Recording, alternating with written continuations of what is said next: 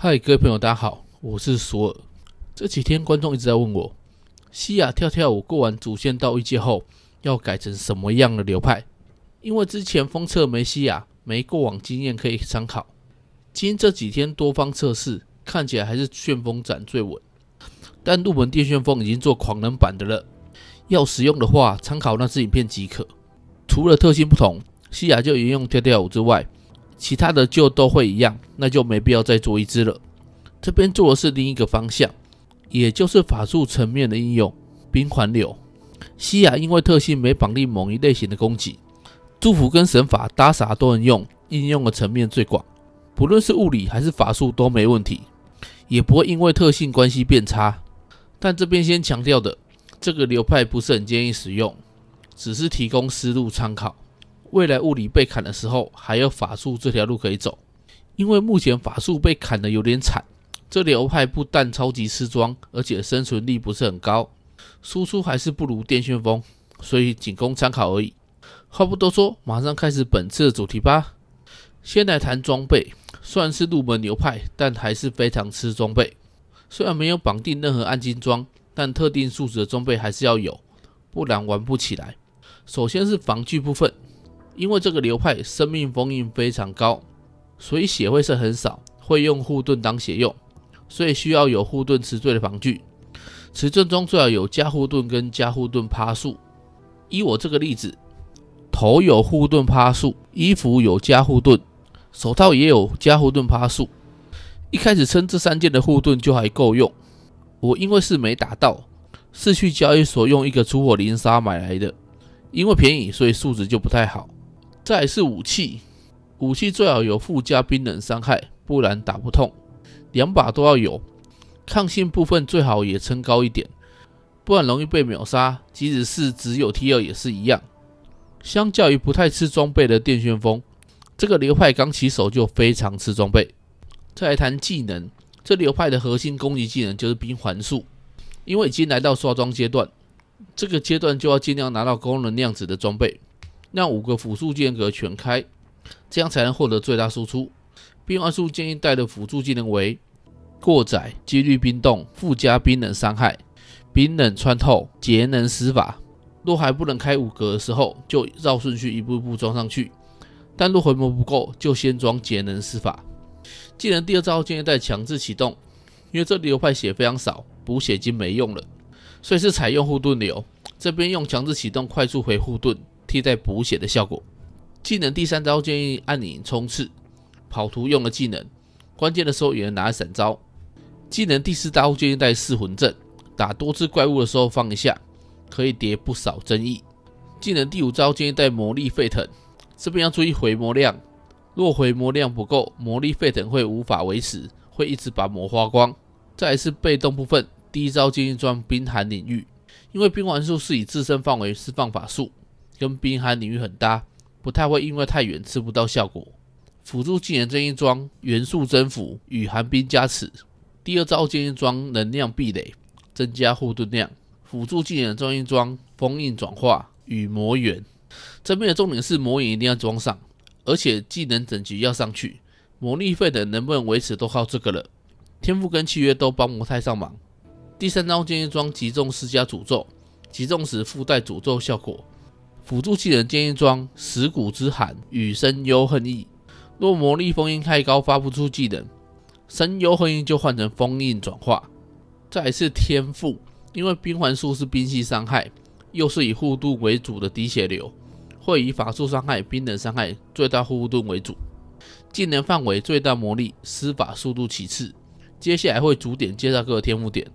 天赋第一个面板选择知识之神，零这牌。点加法术伤害与冰冷伤害，六这牌点加技能范围，冰一路点到九；九这牌点加冰冷伤害，冰一路点到十二；十五这牌点加法术伤害与减魔力封印，冰一路点到十八。大天幕点十点选择灯塔，二十点选择炙手可热。第二个面板选择秘书师，零这牌点加冰冷伤害，三这牌点加最大魔力。六这牌点加施法速度，加冰冷伤害点三点。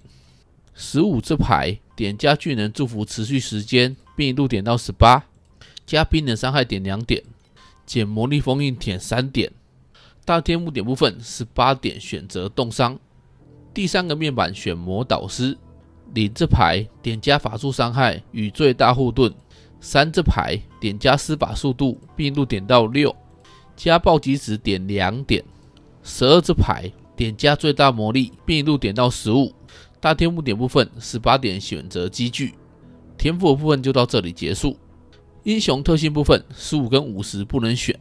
三十二级部分选择丰收预言，六十二级部分选择希望预言。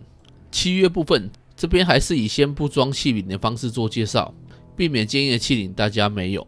生存部分，因为这边已经超过六十级了，死掉会开始掉趴时候了，所以建议最好保守点，把元素抗性跟减物理伤害点满。进攻部分依旧全点，收集部分等装备起来比较安全时再点吧。毕竟要先生存，才有机会打到宝。契约的部分就到这里结束。以上就是西亚冰环术相关技能跟配点。接下来是实际刷图示范，会提出一些实际使用上要注意的点。此外，若以上的技能跟配点，假如有更好配法的话，欢迎留言告诉我哦。接下来就是打图示范，这边以 T 三的关卡当例子。开场记得先放魔力沸腾。因为冰环术是以自身为中心释放，可以直接位移上去释放技能。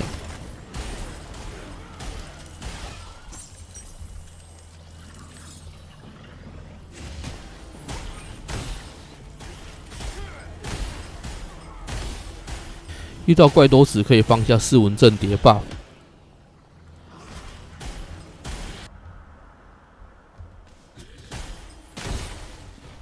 一样用窄道叫黑潮，利用窄道巨怪的特性跟冰环 A O E，就可以快速解决黑潮。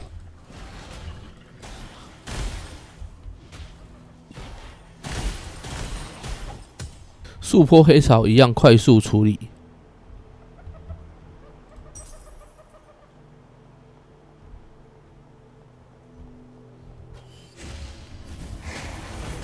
冰环术因为是 A O E，就不怕护盾了。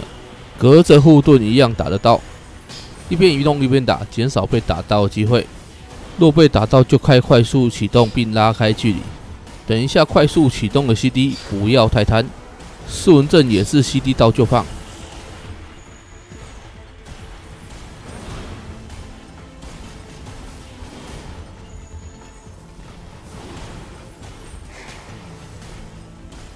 虽然火力不如旋风斩，但还是可以慢慢磨死。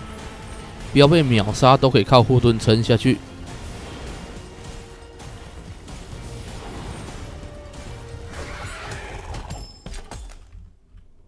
这样一轮就结束了。最后还是谈一下西亚冰环术的小结。